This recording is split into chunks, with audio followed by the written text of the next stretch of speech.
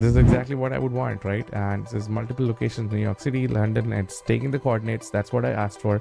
And I'm asking for weather information. Brilliant. I mean, this is the power of open source large language models that now you will have because you're able to run this on your local machine. And I'm super excited for you to experience this. What is up everyone and welcome back to the channel. So I recently posted this video about running an open source model that is the Mixtral 8x7b on a GPU and a bunch of you reached out to me asking, hey, how can I easily run some local models, like run some large language models that are open source on my local machine. So I decided to like make this video specifically around that and I feel like this is probably the easiest way to run large language models on your machine and the project that we are going to be using is called Ollama that allows you to actually run these open source large language models easily. Now, one of the caveats that you need to be aware of is there are different types of models available. They're all of different sizes. So depending on the kind of machine you have, you will get that much experience. So, so the way you want to think about this is like if you have a model with like 7 billion parameters, you need at least 8 gigabytes of RAM. If you have a model with like 13 billion parameters, you need at least 16 gigs of RAM and if you have anything more than that say 30 32 you need at least 64 gigabytes of ram. Now typically you want a gpu and use that gpu power with its uh, you know memory. But uh, in your case we'll just use easy models like llama 2 or mistral and we'll use really quantized versions of it that are small in size maybe 5 gigs and then run them on our laptop here. So that's what i'm going to walk you through so let's jump into it Right, so what we have to do is first go to ollama.ai and that's where we will go and actually download Ollama to our system. Now, depending on which machine you use, you will be able to download the file. So we have versions for Mac OS and Linux. I have a Mac, so that's what I'm going to download. For Windows, it says it's going to come soon. So download that and once you install it, you will have Olama up and running on your system. And the other thing that you want to be aware of is that you can actually go to this models page. And when you go to this model page, you can see different types of models that are available. So you have Llama 2, Mistral, LLaVA, Mixtral, a bunch of models available. You can actually click on these models to go and read the model card. Now, one of the things that I would recommend to you here is just be aware that when you are running local models, there is this memory recommendation that is if you run a 7 billion uh, parameter model, you have to have at least 8 gigs of RAM on your machine. If you run 13 billion um, parameter model, you should have at least 16 gigs of RAM and 70 billion parameter model would need at least 64 gigs of RAM on your machine. Now it's always good to have uh, you know machines or laptops or even servers that have GPU and you have GPU VRAM because you would want you know the GPU and its VRAM to be used for you know processing. But because we are trying to run these models locally on simple machines with like 8 gigs of RAM or say 16 gigs of RAM, I would say uh, select 7B models or 13 billion parameter models. Now, again, there are some interesting things that you can uh, do as well. So here, just to start off, let's let's first go and and I've already installed this on my machine obviously so let's go to my terminal right have, let's go to this terminal which I like actually and I'm just gonna say Ollama list okay and this is how you can actually see all the different models that you're running locally.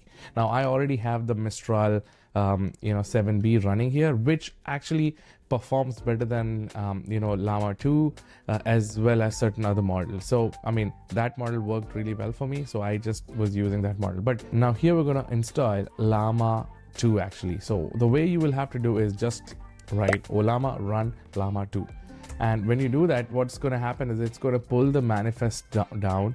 That means all the files required to you know run this model locally. So we're going to let this complete. This can take uh, you know as you can see for me at least it's taking four and a half minutes. But depending on your network and your connectivity this can be faster. So we'll wait for that to complete and then we'll come back. Llama 2 download it. So all i'm going to do again now is just to Ollama run uh, llama 2 okay and as soon as I do it I get to now interact with the LLM so we're gonna basically ask it hey who is the president of France? Okay? And let's see what it responds with you know? So basically the model is up and running and it's going to start responding to us now. So it's saying that I cannot provide you with the latest information, but as of 2023, it's Emmanuel Macron, right? So that's that's uh, the model, model model responding to us, and it's working fine. So this is the first part of how you can run a model locally. You can actually just do slash bye, and when you do that, you actually stop the model and you're out of it.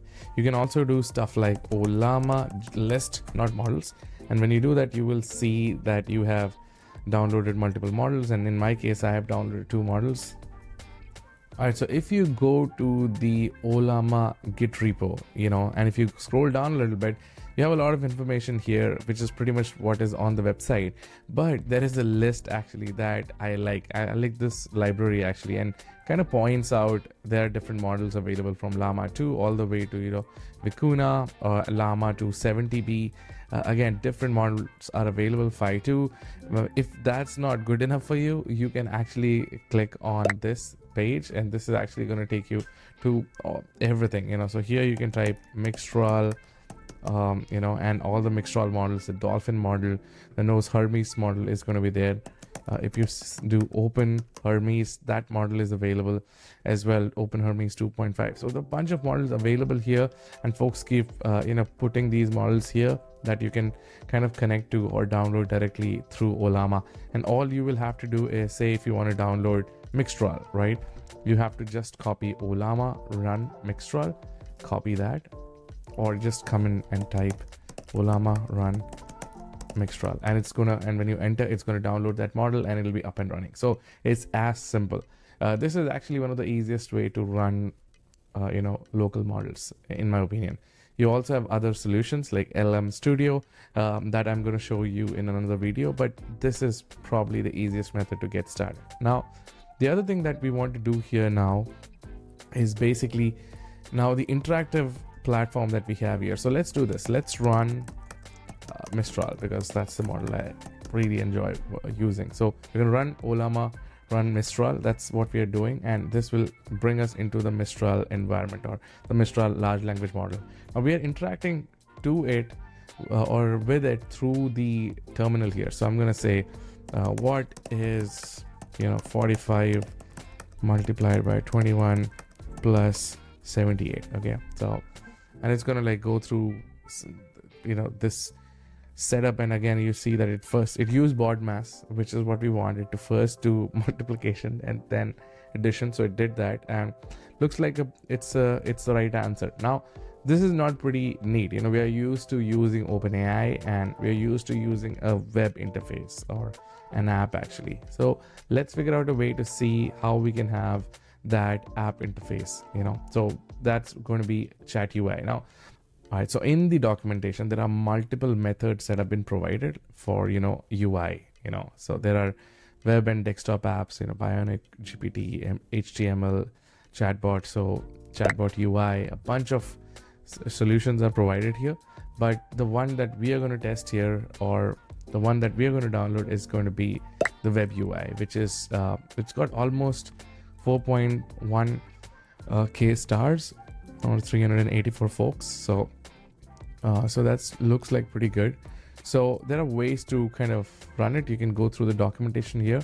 You know, we can actually build our own Docker image and you know get the web UI to work locally. But what I want to do is I just want to run it you know on a web UI and have it you know without installing Docker. So that's the alternative installation method, and that's what we're going to do.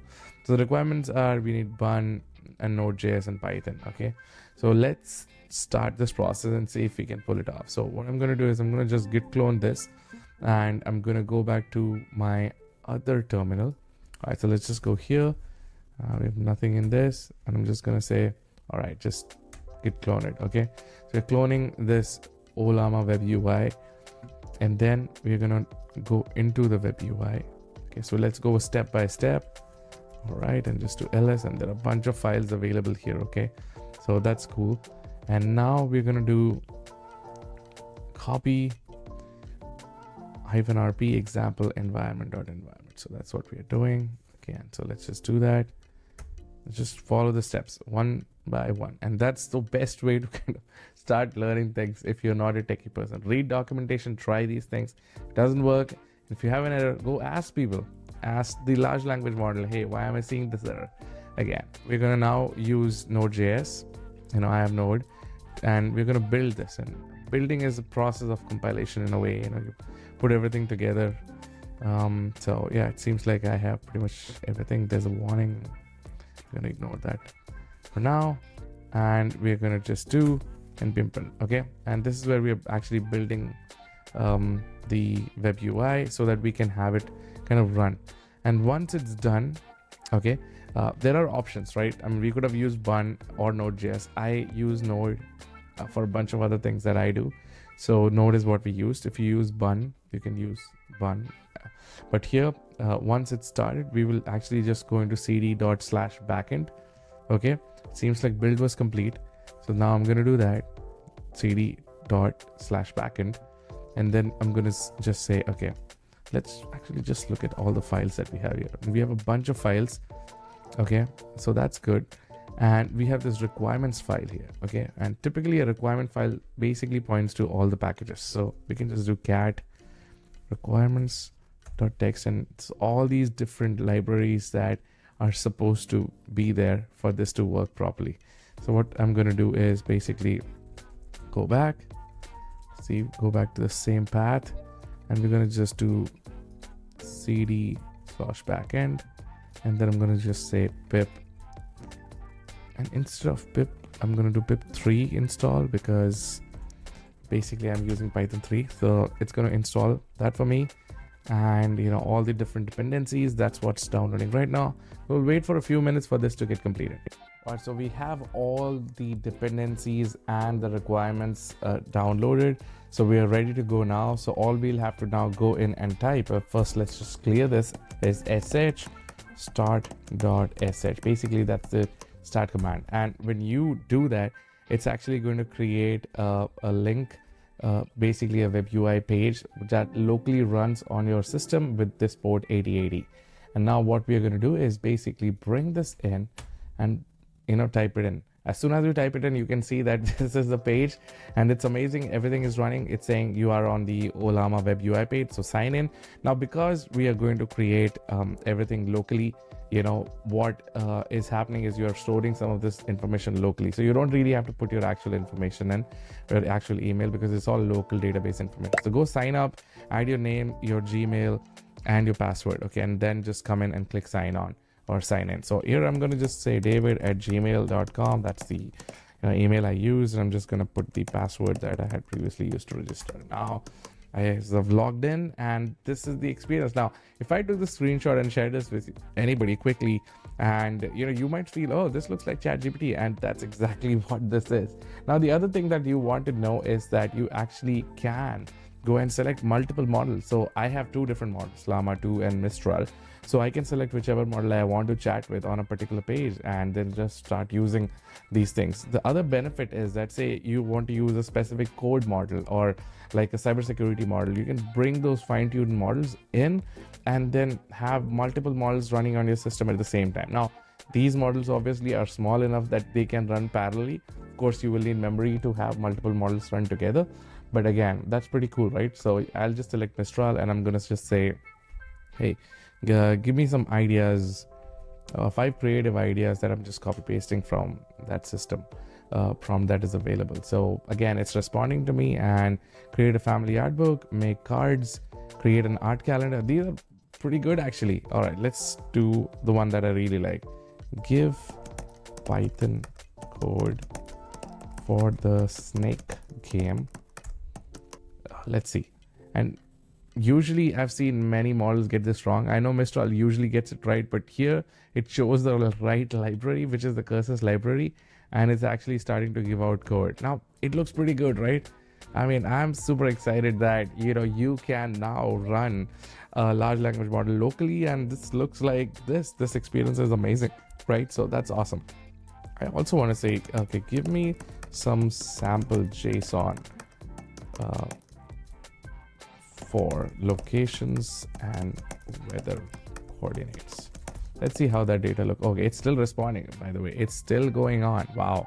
All right so that's that's the whole response. Looks pretty neat. I mean i'll have to copy paste this and see if everything kind of works well but let's just, ask this question. Oh, and it's starting to produce JSON code. Look at that.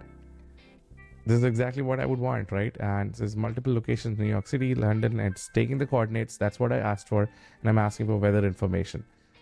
Brilliant.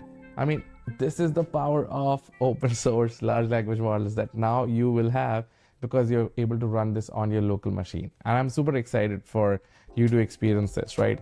Um, so with this, this is the most easiest way to run large language models locally on your machine, especially those are open source. Um, the other thing that we initially spoke about is obviously the terminal is available to you. So you can obviously go in and, you know, run you know, Ollama run Mistral command and you will have the terminal and you can interact with. But why do that when you can actually have a web UI that feels like ChatGPT and pretty much exactly what you are used to, uh, and that's the world uh, that you want to live in. So with that, you know, this video is probably complete. All right, so that is the power of running large language models that are open source on your machine. Now, you can obviously go and use ChatGPT and, you know, pay you know $20 of subscription i actually do that and i feel i get my value from spending that money. But my belief is that as we get into 2024 there will be more models that are going to come out that will be open source that will be as good as gpt-4 and already the mistral models the mixtral medium are already as good as you know gpt 3.5 and hitting very close to gpt-4 so what if you can run these open source models locally on your machine using this method that I showed you and experience the things that you want. Your data stays within your ecosystem, doesn't go to ChatGPT. They're not going to use that to train anything. So you feel more secure. And that is the power of open source. And I think it's pretty fascinating. And I feel the future is really, really bright for large language models in the open source ecosystem. I hope you have enjoyed this video and I love making these videos. I have this baby channel where I just keep up with tech and AI and you know whatever i'm learning i'm posting about it so other people can learn. Let me know what you think about this video. Let me know what else you would like to learn. Again my channel is still learning and still growing so i'm go obviously going to make some mistakes here and there but i really appreciate you following me or if you want please subscribe to my channel and click on that bell notification to get updates. I will try to make a video at least once a week but um, you know i also have a family to take care of and spend time with the family so sometimes i kind of mess it up but i am trying to be as consistent as i can be. So until i see you again stay true stay consistent. Hit me up in the comment section on what you would like me to talk about next. With that catch you later. Bye bye